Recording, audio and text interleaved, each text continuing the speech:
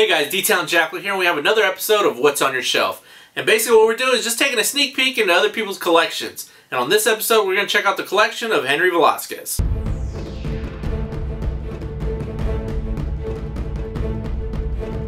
Hi, I'm Henry Velasquez. I'm a Dallas native, born and raised, and I live in Plano, Texas. I've been collecting figures since as long as I can walk, and my parents have been purchasing them for me until I was able to buy my own. Now my collection is at its highest peak and we're up to about 150 so let's check out what I have. So my collection consists of mostly 6 inch figures. I like to collect DC and Marvel uh, but my favorites are the Japanese imported figures like Figma, Revoltech, and SH Figuarts as well as D-Arts. The Mega Man one's actually one of my favorites.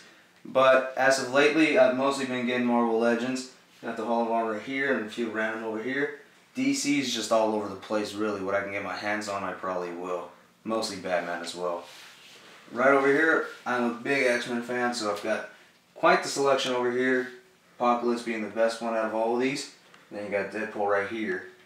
And this shelf right here is just miscellaneous, as you can tell, but I mostly use this to take photography on my Instagram at RetroHenry. So I've always been a big Spider-Man fan, but what I really like about Spider-Man the most is Venom.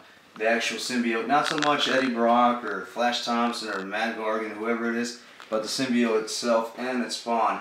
So I've got a few little variations right here, anti-venom, normal venom, flash Thompson venom, and then one that I painted myself on the Thunderbolts, as well as Toxin.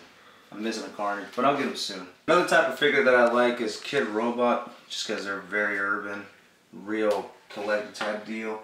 And they also do plenty of collaborations like Street Fighter, Futurama, Adult Swim, things like that. I just really like the artist's appeal for them and it just it's more of a real collector type of deal. And the only thing about them is that they're a lot more expensive, so I limit myself to the blind box. $10 ones, keep it cheap for myself. My prized possession is this Juggernaut statue that my friends pitched in for to give me one Christmas. I think it was about two years ago. And it's like having a little piece of them, you know. There was about 10 of the guys, really close friends of mine.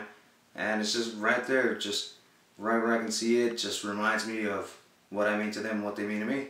So my second prized possession is this Ghostface Killah doll that I got from my friend Chris Colombo. I remember getting it either for my birthday or Christmas a couple years ago, but it's really legit. It's just, back then I was really into old school hip hop music, still kind of am, but I mean the figure itself just has sentimental value too. Um, the figure is very rare. I had to get it from a specific website, just wasn't expecting it, but he got it for me and it's amazing. Like, he's got some like about six catchphrases. The figure was on Jimmy Kimmel Live. He doesn't have the gold chain or the eagle, but I mean that thing's expensive anyway. Like I, I just like having this itself. Another piece of my collection is my comic books, which ranges from new and old, mostly new, and here and there I'll get some old stuff. Infinity Gauntlet, not that old. Um, Phoenix Saga, not that old, or well, it's a little bit older than that. Old Man Logan, newer some of the newer stuff. I got Raphael Micro Series signed by mouse card artist and creator.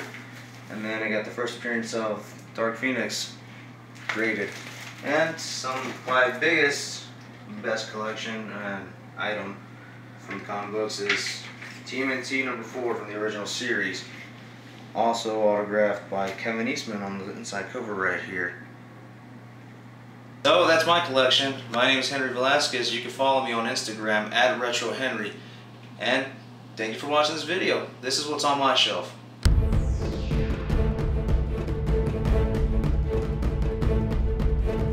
So before you guys forget, hit the subscribe button, please.